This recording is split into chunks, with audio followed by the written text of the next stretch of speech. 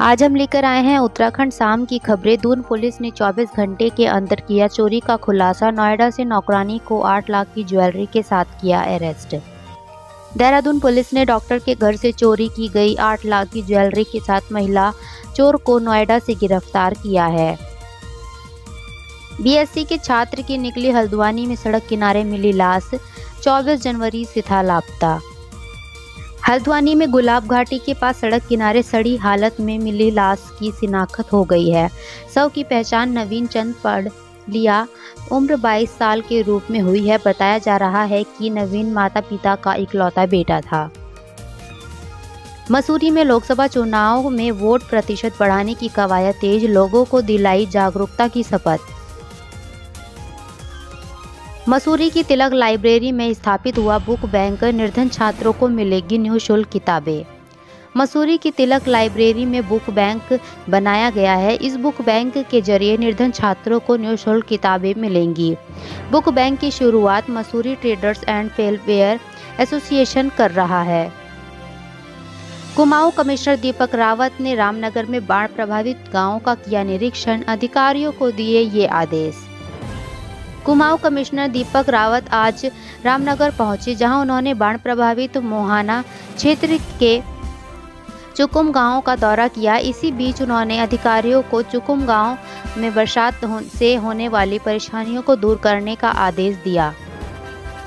हरक सिंह रावत ने सीजेआई को लिखा पत्र, कहा, पेड़ क्या एक टहनी तक नहीं काटी? लक्ष्मी राणा के इस्तीफे पर कही ये बात। उत्तराखंड में हाउस ऑफ़ हिमालयाज का ई कॉमर्स पोर्टल लॉन्च, स्थानीय उत्पादों को लगेंगे पंख। मुख्यमंत्री पुष्कर सिंह धामी ने हाउस ऑफ़ हिमालयाज के ई कॉमर्स पोर्टल का शुभारंभ किया। हाउस ऑफ़ हिमालयाज में पहले चरण में 21 उत्पादों को शामिल किया गया। इसके साथ ही उत्पादों की क्वालिटी को तीन लेवल पर परखा जा रहा है। नागरिकता संशोधन कानून लागू होने के बाद Uttarakhand police alert. Social media पर भी रखी जा रही नज़र। केंद्र की मोदी सरकार ने सोमवार 11 मार्च को देश भर में नागरिकता संशोधन कानून यानी सी लागू कर दिया है। नागरिकता संशोधन कानून लागू होने के बाद उत्तराखंड में किसी तरह का माहौल खराब ना हो, इसको लेकर उत्तराखंड पुलिस मुख्यालय की तरफ़ से अलर्ट जारी किया गया है। डोईवाला में ग्रामीणों के चुनाव बहिष्कार से बड़ी प्रशासन की मुश्किलें।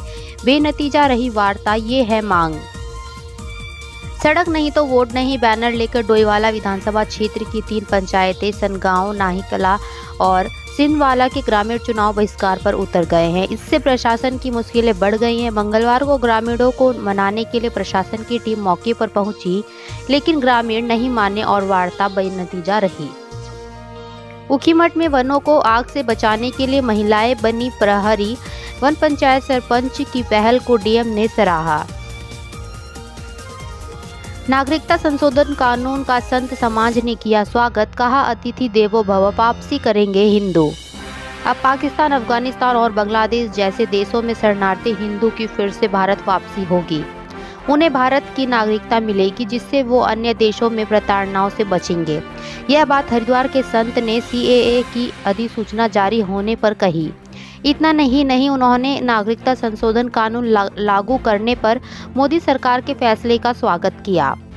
जल जीवन मिशन से बनेंगे उत्तराखंड के 500 गाँव स्वच्छ सुजल ग्राम।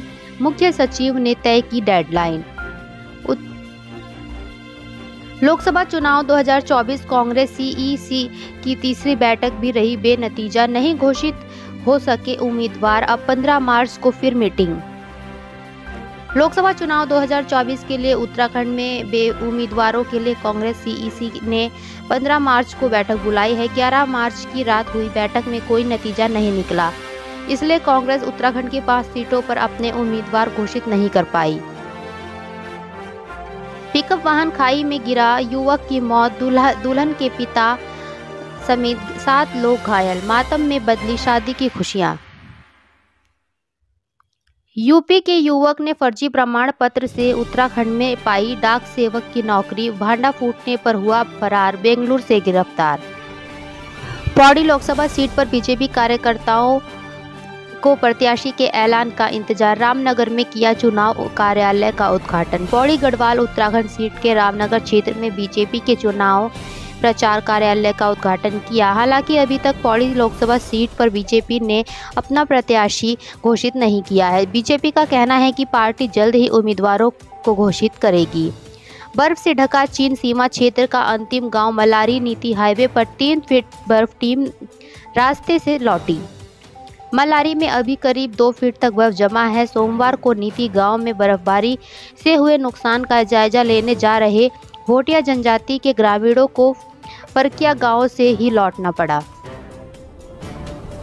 चुनाव प्रचार सामग्री में सिंगल यूज़ प्लास्टिक का इस्तेमाल नहीं कर सकेंगे। मतदान प्रतिशत बढ़ाने पर ज़ोर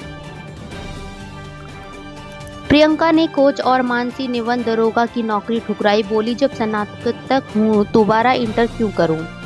बॉक्सिंग खिलाड़ी प्रियंका और एथलीट मानसी नेगी ने खेल विभाग में ज्वाइनिंग करने से इनकार कर दिया। शैक्षिक योग्यता और खेल की उपलब्धि के अनुरूप पद न मिलने पर बॉक्सिंग खिलाड़ी प्रियंका चौधरी ने खेल विभाग में कोच बनने से इनकार कर दिया। वहीं ग्रेजुएशन करने के बावजूद दोबारा इंटर करने के अनिवार्य नियम के कारण एथलीट मानसी नेगी ने भी वन विभाग में ज्वाइनिंग लेने से मना